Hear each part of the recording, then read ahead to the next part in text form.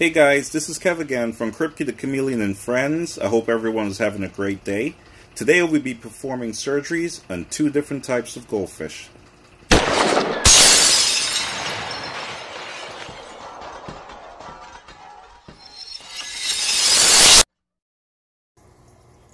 So guys, recently I went to a place that had a lot of goldfish, beautiful orandas, different types of goldfish. They had koi's, they had a pond outside, they had also a lot of indoor aquariums, just lots of beautiful fish all over.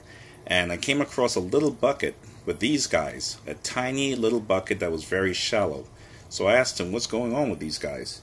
And he said they were due to be put down. He had them in a little bucket because they were emaciated, they weren't eating, and that's due to the fact that the oranda, he's completely blinded by his wen also known as the crown that's on top of his head, so he can't see at all. And over here we have a telescopic goldfish. It's like a black moor but orange color. And this one has a severe case of swim bladder, swim bladder issues, where he's completely turning upside down or he's toppling over from the front. So they both were very emaciated and they were due to be decommissioned or put to sleep, shall I say. So I said, hey, I would love the opportunity to work with them, see if I can rescue these guys, and see what we can do. I've performed many wen trimming surgeries in the past, which were all successful, and this will be my third attempt to do something from as far as swim bladder, which was also successful. So there's no guarantees these guys are going to survive their surgeries, but they were already due to be put down. So I'm going to see what we can do to save them. I'll likely keep them, or may even rehome them and give them better homes. So right now they're sitting here in a quarantine tank. It has to be shallow so he wouldn't flip over. And this way I give them a little room as well as the ability to eat and fatten them up a little bit. The guy did me a favor by trying to feed them so he can put on some weight since I said they were very emaciated. So he kept them for a little bit and he finally handed them over to me. So we're going to see what we can do to save these guys and hopefully they'll have a great life. Otherwise, they just sit there. They don't do much, don't swim around much, except for when you're feeding them. It's definitely a poor quality of life, and they don't deserve that. So let's see what I can do to help restore their lives and let them swim around and be happy just like normal goldfish. Now that we have everything prepped for surgery, I'm going to quickly go over them. I happen to have a little canister here with a hose that I'm going to use to hydrate them. Over here we have two little containers I'm going to use it to put them to sleep as well as wake them up. If I go a little bit to the right, we have the instruments. I'm going to be using some of these tools. I also have a syringe needle. We have a little table that we're going to perform the surgeries on. Over here we have some solution to do sterilization of the tools.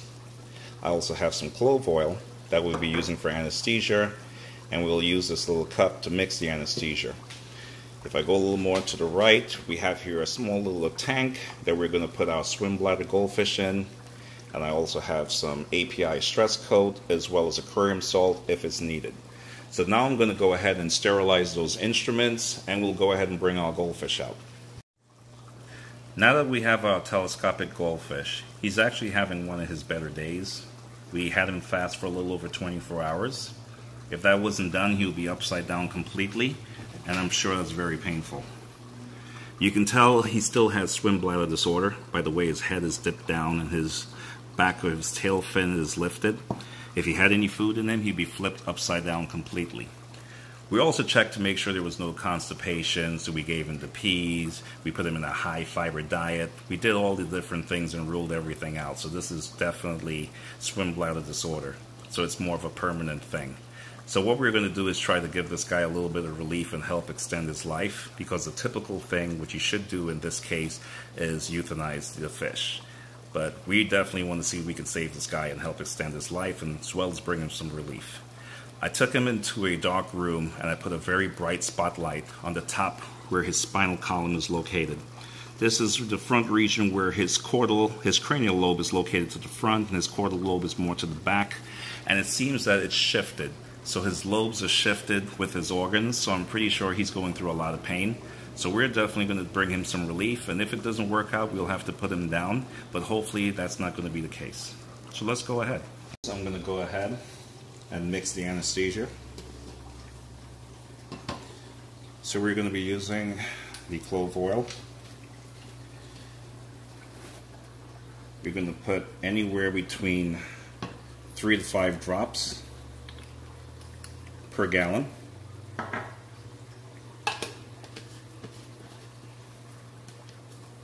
Okay, let's go ahead and shake this around.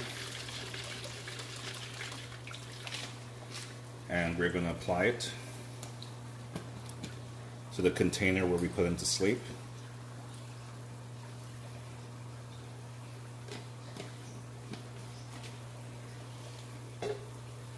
And now we're going to go for a goldfish. Sure we mix it around.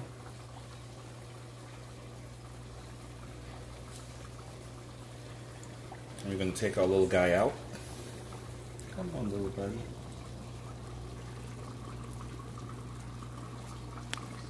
It's okay.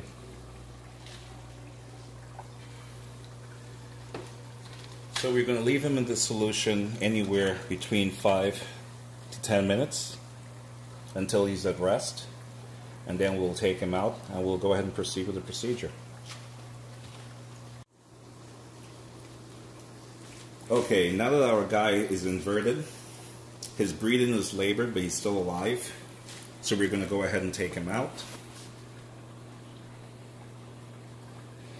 Come on, little buddy. This is going to be a quick procedure. You're going to take the needle.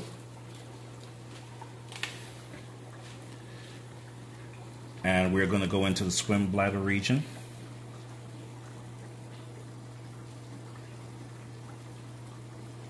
It's okay, buddy.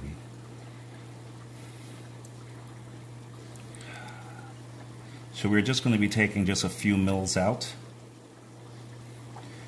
You don't want to take all the air out because he does still need some for buoyancy purposes.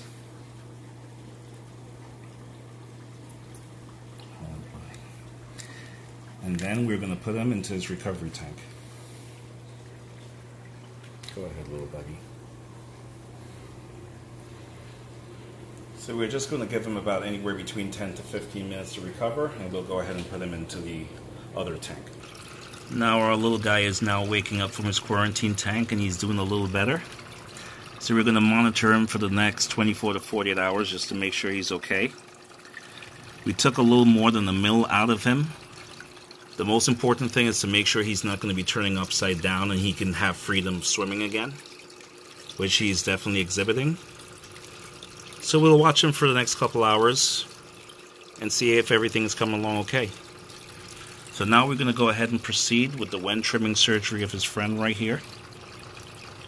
So we'll go ahead and do that right now. As you can see right here, he's completely blinded. You can't even see his eyes. It's completely consumed. So we're going to help rescue little guy. You'll be okay. We're finished with the first procedure. We now have our Oranda goldfish, so we're going to go ahead with the wen trimming surgery. We already started sterilizing our instruments. We have new gloves as well as new bedding. So here is our Oranda goldfish. He's in clear fresh water right now. And we're going to go ahead and move him over to the anesthesia. Come here, little buddy.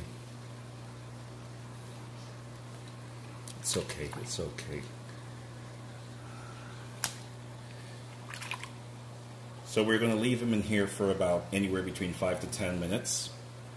There's already anesthesia present from the previous surgery, and we'll see how everything comes along.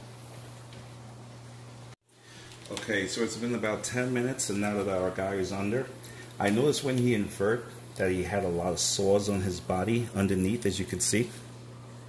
Poor little guy. That's from sitting all in just one place, and this is exactly what the problem is. So we're going to go ahead and put him here.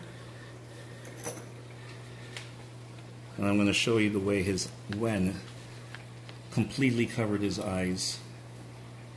As you can see here. He was totally blinded. So we're going to go ahead and try to remove some of that. Poor little guy. Alright. So let's go ahead.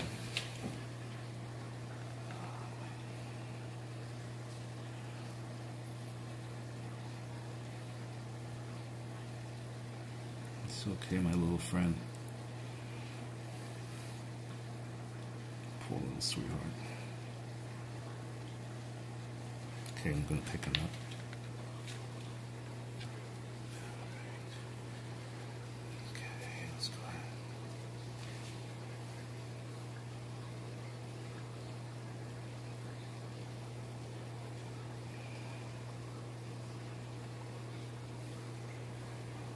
As you can see, his eye is completely consumed.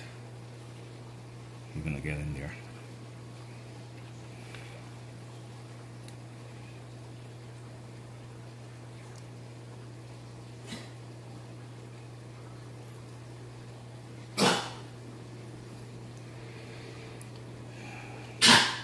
My little dog Kinkajou is right there looking on. She loves to see a rescue. Okay, let's go ahead. Little sweetheart.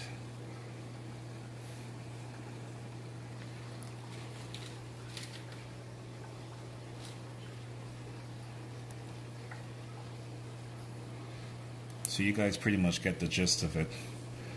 You're going to just try to remove the wen so you can have some sort of visibility as you can see his eyes now coming out.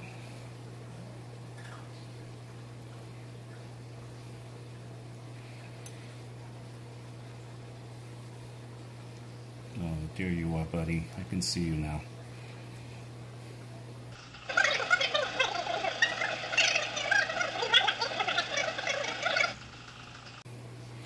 So what we're going to do now is hydrate him a little bit. Alright. It's alright, buddy. You're coming along. You'll be okay, sweetheart.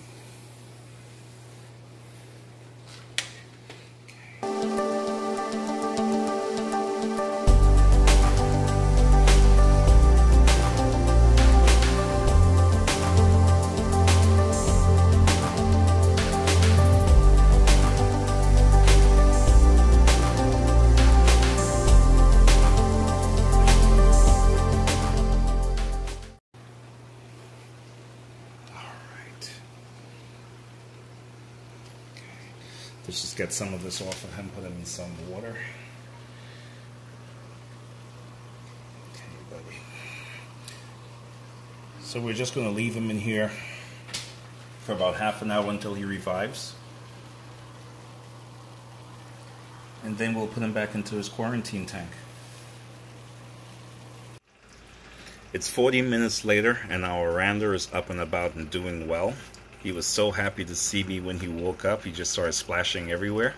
He's no longer bogged down by his overgrown wen, which was so heavy that it weighed him down a bit, and that led to a lot of the sores that you saw on his stomach.